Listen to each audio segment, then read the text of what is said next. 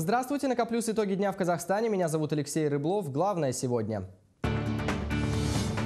Центр избирком в полночь завершает регистрацию кандидатов на пост президента. С 3 марта стартует агит-компания. Вслед за румынским правительством обращение 13 общественных деятелей попало в казахстанский парламент. В письме требование проверить законность покупки компании «Казмунайгаз» румынской «Ромпетрол». Такими ценами до 3 апреля не доживем. Бойкот ценам, бойкот выборам. Я не иду на выборы. Активисты незарегистрированной «Алги» провели акции протеста против роста цен по всей стране.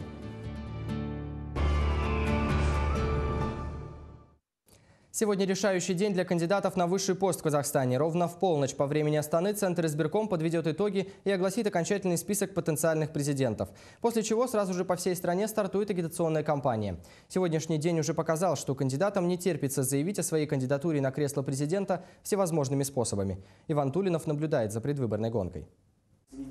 Кандидаты в президенты в предвкушении старта агитационной кампании. Коммунист Жамбыл Ахмедбеков со товарищи сегодня в Астане рассказали о создании Центра поддержки подлинных выборов. Его целью будет защита прав граждан во время избрания президента. Государственный аппарат власти отвернулись от своего народа, и разрыв между народами и властью, они увеличиваются с каждым днем, с каждым часом.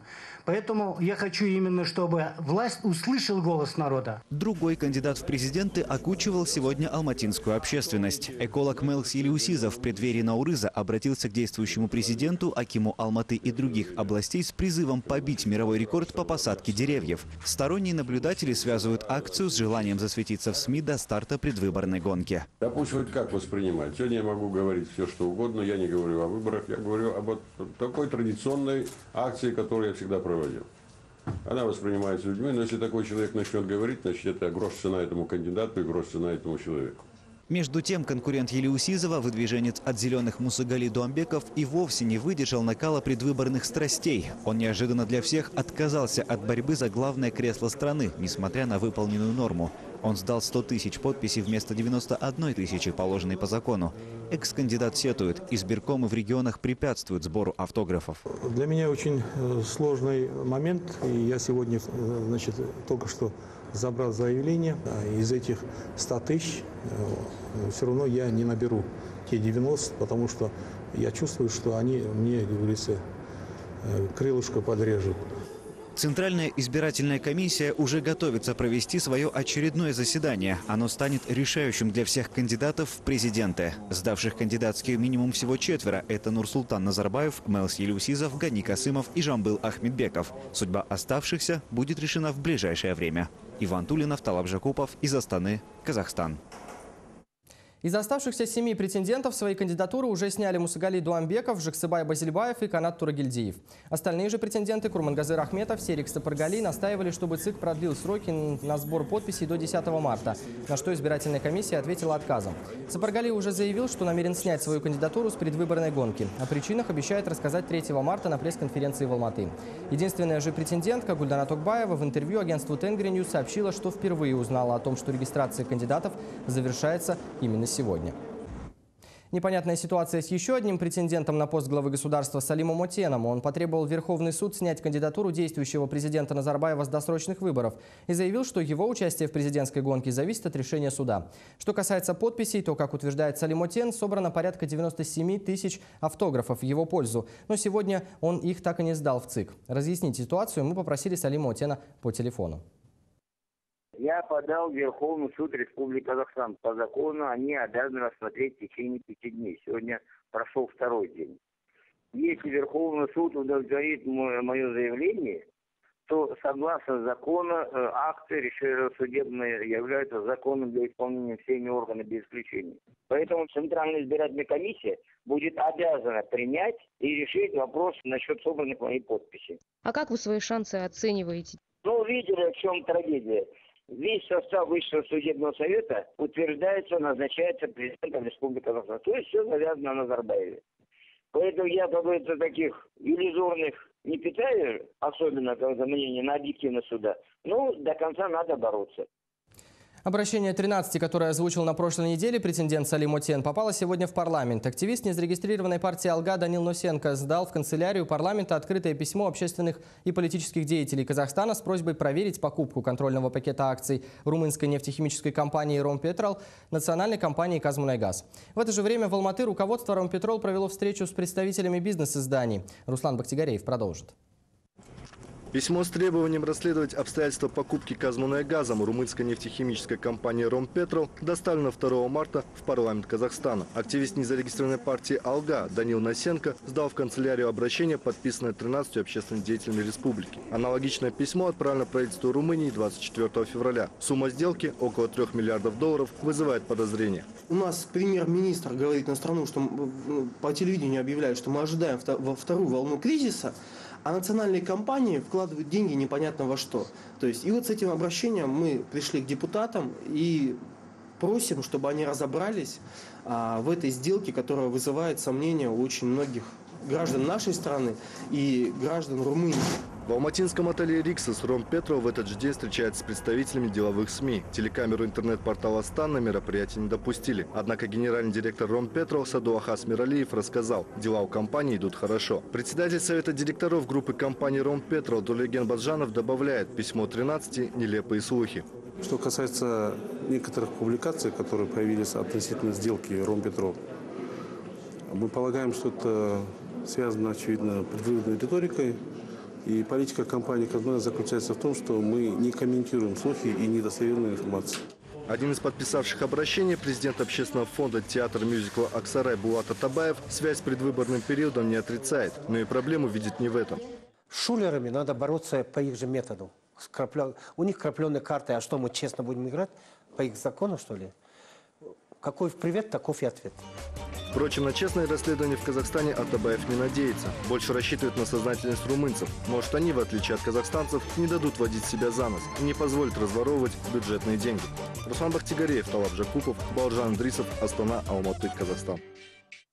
Высокие цены на нефть могут обернуться против стран-экспортеров и прежде всего арабских государств, которые входят в десятку мировых поставщиков черного золота. Такие прогнозы озвучил сегодня главный банкир Казахстана Григорий Марченко в интервью агентству РИА Новости. Напомню, цены на нефть за последние несколько дней выросли на 25 долларов. По мнению экспортеров, э, экспертов, вызвано это событиями на Ближнем Востоке. Галопирующий рост начался с первыми волнениями и продолжается по сей день. Глава Казахстанского банка, э, хоть и строит свои прогнозы относительно главных мировых экспортеров, но заявляет, даже если через 20 20 лет Казахстан станет пятым экспортером в мире, все равно цену на нефть мы определять не сможем. Кроме того, мы не входим в ОПЕК, заключил Марченко. Таким образом, по мнению главного банкира, цены выше 90 долларов за баррель в долгосрочной перспективе могут обернуться и против нас. По политич... Про политические исходы такой ценовой динамики для страны Марченко не рассказал. О политических и социальных последствиях арабского бунта, бунта говорили сегодня в Алматы ведущие эксперты государственных и независимых аналитических структур. Власти есть что почерпнуть из ошибок режимов стран арабского мира и обеспечить свою национальную безопасность. Причины народных возмущений едины для всех восточных стран. К такому мнению пришли эксперты в ходе круглого стола в Казахстанском институте стратегических исследований. Сырьевая ориентированность экономики, низкий уровень заработка, рост цен на продовольствие, тотальная коррупция и клановая система власти. Эксперты напомнили и о том, что половина населения Казахстана живет за чертой бедности, а более полумиллиона граждан без постоянного места работы. Если посмотреть на нашу ситуацию, действительно, мы начинаем только, мы находимся в начале этого пути, мы находимся практически, мы повторяем это, потому что мы тоже часть восточного мира, мы тоже часть того, тех процессов, но мы только делаем. Многие спикеры, тем не менее, сочли своим долгом заявить, что, пытаясь примерить арабский сценарий на Казахстан, некоторые СМИ перегибают палку и притягивают за уши факты. В пример привели поступок уличного торговца из Туниса Мухаммеда Буазизи, который не выдержал давления со стороны силовиков и совершил акт самосожжения. По мнению Булата Марата Султанова, директора Казахстанского института стратегических исследований, в Казахстане, где власть уделяет столько сил развитию малого и среднего бизнеса, подобный сценарий невозможен. И после того, как полицейские на него наехали, после того, как наехали на него те, как у нас называется, санэпидстанция, пожарная инспекция, да, всем нужно отстегивать, у него уже прибыли нет. Он взял себе, сжег в знак протеста против вот такого беспредела со стороны силовиков. Вот повод. Поэтому давайте мы э, честно будем говорить о том, что ситуация, например, в странах Ближнего и Среднего Востока И в Казахстане, например, отличается коренным образом. Накануне президент Нурсултан Назарбаев озвучил официальную точку зрения страны, готовящейся принять обязанности председателя Организации Исламской конференции. Арабский кризис – прямое последствие кризиса финансового. По его мнению, правительства бунтующих стран были не готовы к смягчающим мерам. И им неплохо было бы поучиться у успешно выбравшегося из финансовой ямы Казахстана. Лидер нации красочно расписал ужасные последствия революции. Египет потерял примерно 5 миллиардов долларов экономики, и 10 миллиардов ушло из э, Египта денег. Вот, то есть, кто сказал, что нищета рождает революцию, а революция еще худшую нищету. Вот так оно и получается. Некоторые страны будут жалеть о том режиме, которые были когда-то. Вчера один фильм смотрел уже Киргизии говорят, как при Акаеве было лучше. Но опыт населения арабских стран, сплотившихся ради свободы, увидел весь мир, говорят эксперты. И такие настроения особо опасны для внешне стабильного Казахстана. Я, например, как эксперт вижу опасность формирования протестного электората, если мы говорим вот о ближайшей перспективе, о ближайшей перспективе, и нерешенность многих социально-экономических проблем в проекции на жизнь отдельной семьи и каждого человека. Особое внимание, по мнению экспертов, государству следует уделять социальным сетям и интернет-форумам, которые сыграли далеко не последнюю роль в арабских революциях. Запретить высказывать свое мнение в мировой сети невозможно, а вот провести мониторинг и понять реальный настрой и проблемы населения было бы очень полезно, считают эксперты. Диас Акбаев, Павел Энгельгард, Казахстан. Сегодня в ряде городов Казахстана прошли акции протеста против повышения тарифов э, и цен на основные продукты питания. Активисты незарегистрированной партии «Алга» обвинили власти в разбазаривании денег. По их словам, правительство больше заботится проведением ненужных, на их взгляд, мероприятий, как Азиада и саммит ОБСЕ, в то время как большинство простых граждан вынуждено выживать в сложных условиях дикой инфляции.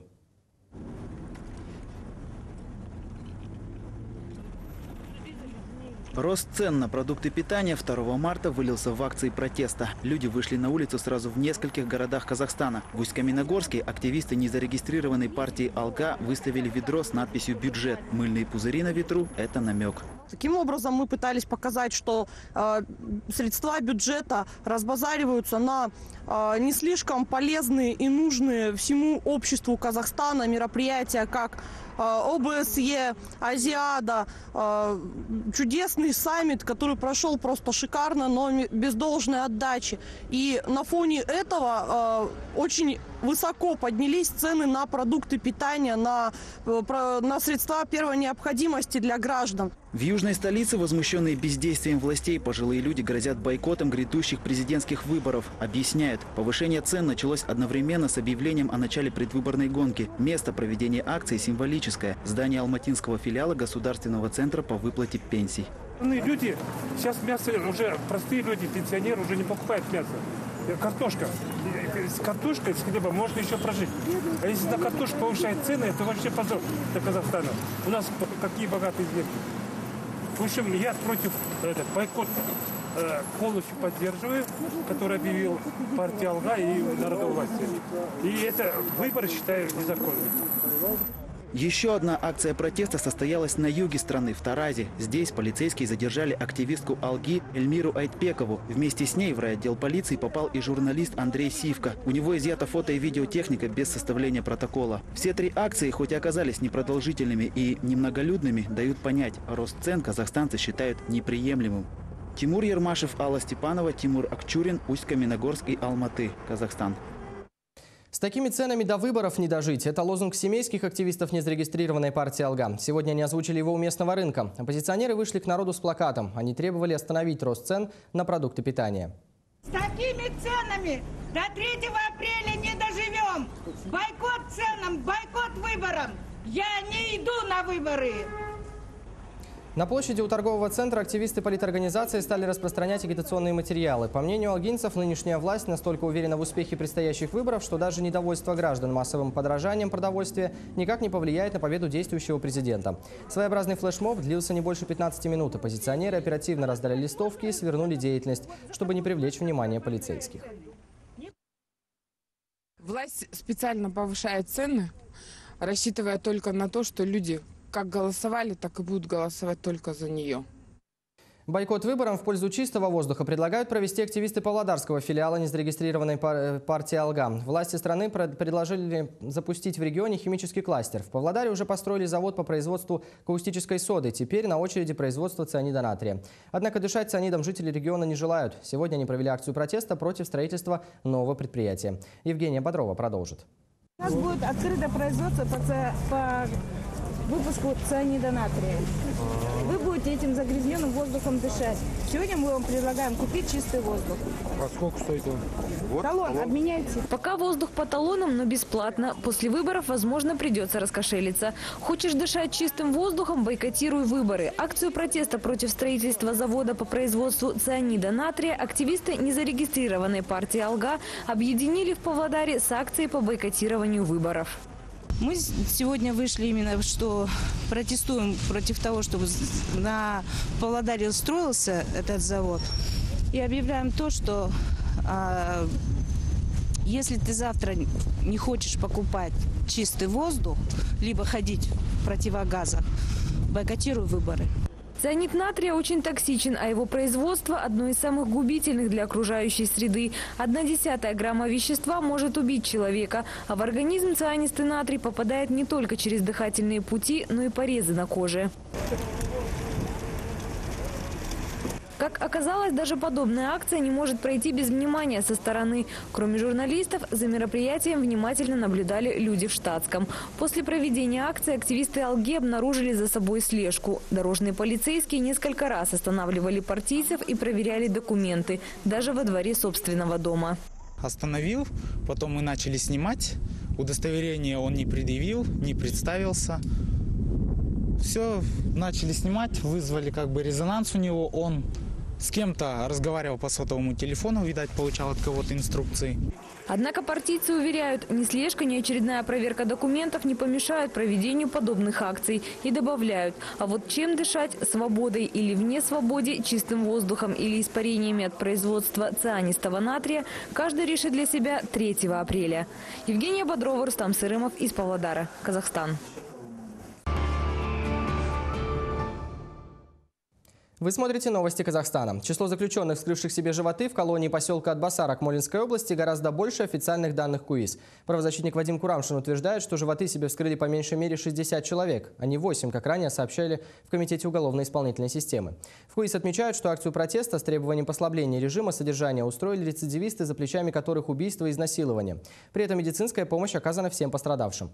Правозащитники же уверены, бунты в этой колонии происходят по другим причинам. В колонии строгого режима 166-4 поселка Атбасар Акмолинской области 8 осужденных порезали себе животы. Один из них до сих пор находится в госпитале. Остальные после операции вернулись отбывать наказание. По официальной версии КУИС протестующие требовали изменить режим содержания, а также перевести их в другие колонии. Правозащитник Вадим Курамшин, отбывавший наказание в Атбасаре, рассказывает про другие причины протеста. Пытки, пытки, пытки. Еще раз пытки. Они ничего не требуют себе э, э, никакого послабления режима содержания, как это списывается официальными лицами из тюремного ведомства, э, они не преследуют. Все это было и на моей, извините, шкуре э, лично. По версии Курамшина, заключенные этой колонии вынуждены регулярно идти на крайние меры. Также он рассказывает об иных цифрах ЧП. По его данным, животы вскрыли не 8, а 60 человек. УИС обвинение отрицает. Ни о каких 60 людях не, не идет даже речь. Это имел факт место 28 февраля 8 человек. Не дай бог нам еще никого, зачем оно нам надо? В свою очередь, родственники осужденных уже два дня пытаются добиться встречи с заключенными, но администрация колонии игнорирует просьбы. Мария Сулейменова приехала к племяннику Канату Жубалаеву, забеспокоившись, когда тот перестал звонить. У нас короткая полагается 12 -го.